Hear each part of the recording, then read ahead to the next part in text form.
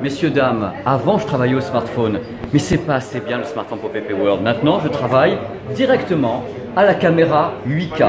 Là, ça va vous faire des images, des vraies images, un truc de folie, un gros master. Regardez un petit peu, le bousin. Avec ça, j'ai le power. Bonjour, bienvenue sur ma chaîne YouTube PP World. Regardez, non mais, non mais, regardez, non mais, regardez, regardez un petit peu. Eh bien, cette vidéo, c'est une vidéo pas comme les autres. Je fais jamais de vidéos sur le matériel professionnel, mais une partie de l'avenir du cinéma et de la production passe par ce type de caméra, les caméras 8K. Je me suis dit, je suis à Londres, je vais faire une petite vidéo pour mes petits abonnés, pour qu'ils aient l'expérience, pour qu'ils vivent avec moi cette grande sensation de la caméra 8K, parce que ce modèle Sharp est unique au monde.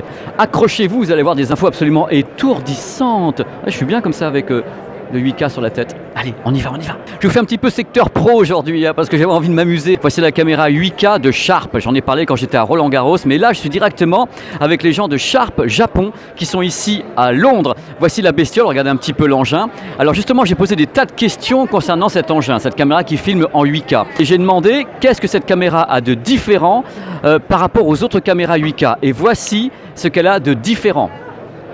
C'est qu'elle dispose directement du stockage des images en 8K. Les autres caméras, en fin de compte, qui sont 8K, le stockage est externe, c'est-à-dire que vous avez un fil avec un mec qui a le stockage. Eux, ils sont directement le stockage qui est ici. Donc c'est une caméra entièrement transportable avec un SSD pack euh, qu'ils n'ont plus qu'à replacer. En fin de compte, à chaque fois qu'ils font un tournage en 8K, c'est stocké sur la caméra. Donc c'est c'est pas une caméra, c'est un caméscope. Vous vous rendez compte? Je vous montre un caméscope qui est 8K. J'avais jamais vu un truc pareil. Et le truc de folie, c'est que la capacité, c'est 4 Tera en SSD.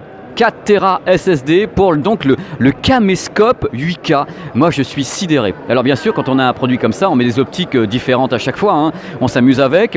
Euh, la caméra, je crois qu'elle coûte 80 000 euros sans rien du tout. C'est-à-dire, hop, vous enlevez cette partie-là et, et vous, payez 80 000 euros. Après, vous rajoutez ce que vous voulez par rapport à votre tournage. Voilà, c'est un produit qui est entièrement compact, euh, qui fait un poids assez considérable. C'est entre 15 et 20 kilos. Le truc, c'est que ça dépend bien sûr après de l'optique qu'on met par-dessus, parce que l'optique pèse très très lourd. Donc, c'est c'est un modèle étonnant. C'est le seul au monde qui est comme ça. Je dis, et donc on peut tourner en télé, on peut faire n'importe quoi avec et tout stocker directement sur ce que j'ai dans la main. Regardez, je suis tellement content. Je vais tout casser ici et Sharp va me virer de Londres et me renvoyer en France directement par le premier Eurostar. Tellement je suis surexcité vous montrer ça. Quand la caméra 8K filme, elle est là, elle filme. Elle va stocker l'image sur la SSD, donc sur la mémoire vive, avec un débit compressé de 6 gigabits par seconde, ce qui est déjà énorme. Mais attention, elle est capable de délivrer le signal en direct sans aucune compression grâce à ces quatre 4 sorties SDI. Dans ce cas-là, c'est 48 gigabits par seconde d'images qui ressortent de la caméra. Je ne sais pas si vous vous rendez compte. 48 gigabits sans compression et 6 gigas dans le stockage. C'est un, stockage, c'est une compression professionnelle. hein. Je veux dire, on compresse, mais on ne perd pas vraiment de données. Donc. Ça, c'est pour le live. Par exemple, dans une régie télé, ça sort d'ici en 48 gigas. C'est du délire. C'est deux façons de faire, enfin, qu'on direct ou stockage, avec des caractéristiques différentes, mais euh, ça fonctionne divinement bien. On est en secteur pro.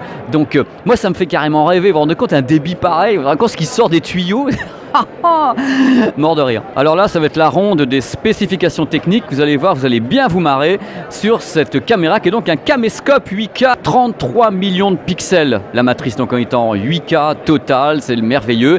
Capable de shooter en 60 images par seconde en 4.22 sur 10 bits. Donc pour vous donner un ordre d'idée, quand on filme avec ce caméscope 8K, avec une production avec l'image avec une qualité maximale, on peut stocker 40 minutes d'enregistrement sur le disque dur interne, enfin le SSD interne de 2 Tera. Donc 40 minutes, c'est 2 Tera d'images carrément. Les mecs, au secours, au secours, à moi les murs, la terre m'abandonne. Alors quand on filme avec ce type de caméra 8K, le but de la manœuvre pour les, professionnels, c'est de travailler avec une sorte de, caméra numérique qui serait l'équivalent du Super 35 mm. Voilà, c'est l'idée de base. Elle a bien sûr le High Brick Lock Gamma, donc un HDR qui est intégré, euh, qui directement fait la captation, mais bien sûr on peut rajouter des choses après en post-production. Donc ici, c'est l'emplacement pour la batterie, la batterie externe et plusieurs capacités. Donc quand on part en reportage, on a la batterie ici, donc qui est assez lourde, donc d'où l'idée d'avoir une optique qui permet l'équilibre quand on l'a sur l'épaule. Donc il y a plusieurs capacités hein, pour pouvoir tourner pendant 40 minutes, une heure ou autre, et bien sûr, le, le vidéaste partira avec plusieurs, euh, plusieurs batteries dans son sac à dos, mais partira en alone, c'est-à-dire que vraiment il peut, il partir euh, faire un reportage avec directement le SSD pour enregistrer, les packs caméra, le 8K, l'optique, tout ça dans un body qui est quand même assez ramassé. Il faut savoir que technologiquement, arriver à faire une caméra 8K de cette taille avec tout à l'intérieur, y compris le SSD ici, c'est quand même assez admirable. Sharp est pour le moment euh, le, le seul fabricant au monde à avoir cette capacité pour faire de la compacité ça ouvre des perspectives incroyables. C'est comme si on, vraiment on pouvait faire de la production maintenant tout seul avec sa caméra 8K, on s'en va et hop, ça y est, on produit des images, que ce soit bien sûr pour le cinéma, pour des documentaires, pour des captations télévisées. Euh, c'est ça qui est intéressant. Ici, c'est le monde, le monde de la production et de la post-production. C'est-à-dire que l'idée, et je le répéterai jamais assez dans cette vidéo, tout en faisant des coucou miaou, c'est d'avoir la plus grosse qualité technique de captation d'images. C'est-à-dire que pour les professionnels, on s'en fout qu'après on se dise ouais ça va finir en, en 2K ou en 4K ou en Full HD. C'est pas important.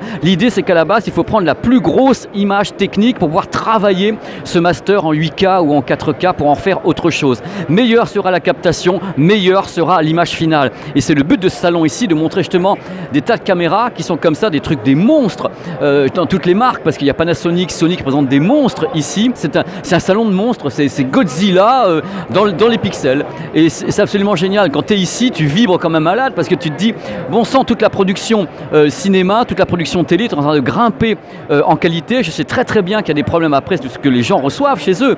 Parce que je suis conscient du fait que c'est compliqué. On a des problèmes de, de diffusion d'images, on a des débits qui sont pas très très bons. On n'arrive pas à voir ce que les professionnels captent. Mais les professionnels se doivent de tourner avec ce type de matériel parce que eux ne doivent pas penser mauvais débit, euh, mauvais réseau. Ils doivent, doivent penser la meilleure qualité de production. Ce qui se passe après, c'est pas que ça les concerne pas, mais disons qu'après la diffusion elle-même au, au, travers des tuyaux ou une mauvaise qualité mastering sur un Blu-ray, ça concerne pas les gens qui filment, c'est après que ça se passe, en post-production ou en création de master. Voilà, J'essaie de vous expliquer les choses de façon un petit peu, un petit peu schématique, mais globalement, c'est comme ça que ça se passe. Je tenais vraiment à faire ce reportage sur Paperwell, un truc qui change un petit peu des choses que je fais normalement. C'est vrai que je parle du 8K, c'est vrai que je suis super content de vous parler de tout ça.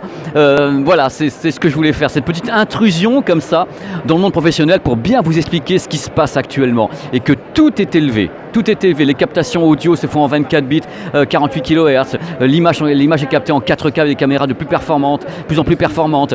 Et en même temps, on a bien sûr les modèles 8K qui arrivent comme les Sharp ici, qui est donc le caméscope de l'enfer. Donc voici le téléviseur dont on a parlé déjà mille fois sur cette chaîne. Avant tout le monde, regardez, je mets mon doigt comme ça pour faire coucou miaou. Euh, donc voici la référence si vous voulez l'acheter. Mort de rire. Il s'appelle le LV70X500E. Alors c'est un moniteur professionnel, hein. il n'y a pas de tuner dedans, il y a une petite vidéo qui va se mettre ici, qui va vous dire exactement euh, ce que j'ai dit sur le produit. Donc c'est un produit qui est en vente en France, je crois, à 12 000 euros. Enfin, les prix sont toujours un petit peu, un petit peu variables sur ces gros produits. Euh, voilà, il est HDR, il est, il est 10 bits, euh, il, il, a une luminosité de 400 candela au mètre carré. Enfin bref, c'est de la grosse bestiole. Et ce qui est bien ici, je reviens dessus, regardez ma main, je vous fais coucou, vous n'allez pas me voir beaucoup aujourd'hui. Je vous fais coucou, c'est que Sharp est, à ma connaissance, c'est pour ça que je suis venu les voir, euh, la seule marque capable d'avoir à la fois le tournage, c'est-à-dire qu'ils produisent les images, sont capables de produire les images, hop, ici en 8K, on filme directement, et ce qui est bien, c'est qu'ils ont la boucle complète, ils produisent, et directement ils peuvent diffuser en 8K, ils ont donc les matériels 8K de diffusion, donc les moniteurs, ils ont les systèmes également 8K et ils ont la caméra pour ils ont la boucle complète, ils ont tout l'écosystème 8K et c'est pour ça que eux sont en train de cartonner en Asie euh, notamment euh, et au Japon entre autres parce qu'ils ont toute la boucle complète. La jeune fille sert de modèle ici, hop, elle est captée avec la caméra 8K. Alors l'idée, comme on est en boucle en direct ici avec du très haut débit, on a directement une image absolument fabuleuse ici sur les téléviseurs 8K Sharp. Je peux vous dire, je suis devant, on, on, voit bien sûr les, les, pores de la peau, on voit le maquillage. Bien sûr, là c'est filmé avec un smartphone, donc on ne peut pas tout voir. Je ne suis pas en secteur professionnel moi, mais c'est superbe. Vraiment, c'est très très très beau et c'est surtout très naturel. C'est-à-dire que moi je suis devant la jeune fille qui est ici, la colorimétrie est exactement la même parce que tout a été calibré évidemment. Donc là on est vraiment sur une boucle 8K en secteur professionnel. C'est très Vas-y, vas-y, touche-moi l'optique. C'est la naissance vraiment d'un écosystème et c'est ça que je trouvais vraiment, vraiment intéressant euh, dans cette vidéo ici sur PP Je me suis installé carrément ici sur les la tropiques pour vous dire que c'est la fin de cette vidéo. J'espère que ça vous a plu, vous avez appris des trucs. J'étais comme toujours surexcité, vous vous rendez compte pour un mec comme moi, aller voir des caméras 8K dans le secteur pro, voir comment les mecs vont bosser dans le cinéma et autres. Ça me donnera des tas d'idées pour vous faire des vidéos. Enfin, j'espère que ça vous a plu. C'est une vidéo atypique, hein, je le rappelle, parce qu'en effet, euh, je ne vais pas faire des vidéos de secteur professionnel tout le temps. C'est parce qu'il faut quand même comprendre ce qui se passe en secteur pro pour savoir après ce qui va se passer chez nous, parce que euh, tout est lié. Donc là, les mecs qui bossent, ce sont encore des projets, tout ça. Je veux dire, c'est les premières fois qu'on fait ce genre de démo. C'est un salon où il y a plein de, de matériels qui sont présentés ici en avant-première. On sent que ça bouge de partout. Toutes les marques foutent la gomme en secteur pro parce qu'il y a des enjeux gigantesques sur la captation numérique, parce qu'en effet, la captation euh, par pellicule 35-110 mm, eh bien, c'est plus vraiment dans l'air du temps. Maintenant, on capte en numérique, on s'amuse en numérique. Donc, les pros veulent s'amuser à fond avec du matériel de qualité, de qualité. Et je vous dis euh, à très très vite sur PP World pour d'autres vibrations. Voilà, qu'est-ce que je suis bien éclairé. Voilà, on va finir avec les de la vie tropique. Ciao, ça brille. Hein.